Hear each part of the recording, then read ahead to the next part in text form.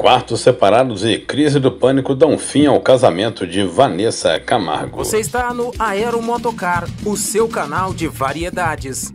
A coluna Léo Dias trouxe toda a verdade por trás do fim do casamento de 17 anos entre Vanessa Camargo e o empresário Marcos Boaz. Em comunicado nesta segunda-feira, dia 2 de maio, a cantora pegou todos os fãs de surpresa ao avisar que eles decidiram pacificamente encerrar a relação conjugal. Tido como um matrimônio perfeito, a coluna Léo Dias descobriu que o fim da união entre a cantora e o empresário tem motivos muito delicados, e um deles é a questão de saúde de Camargo, que há seis anos sofre de síndrome do pânico, mas não procura tratamento. A separação foi decidida pelos dois na última quinta-feira, dia 28 de abril, mas só foi comunicada aos fãs e à imprensa nesta segunda-feira.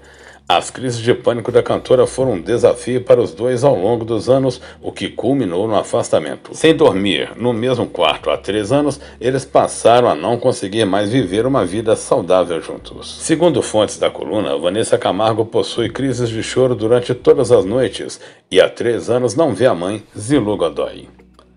Vivendo uma vida reclusa e sem auxílio médico, ela já passou por duas internações em um curto período de tempo. Na última semana, a cantora precisou ser admitida no Hospital Israelita Albert Einstein Alphaville, em São Paulo, com um novo episódio de crise do pânico.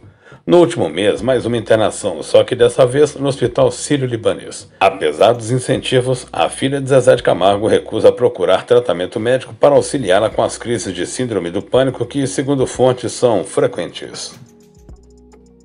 Os dois são pais de José Marcos, de 10 anos, e João Francisco, de 7. No comunicado repercutido, um trecho reforça que, mesmo não sendo mais um casal, Boaz e ela seguem como uma família.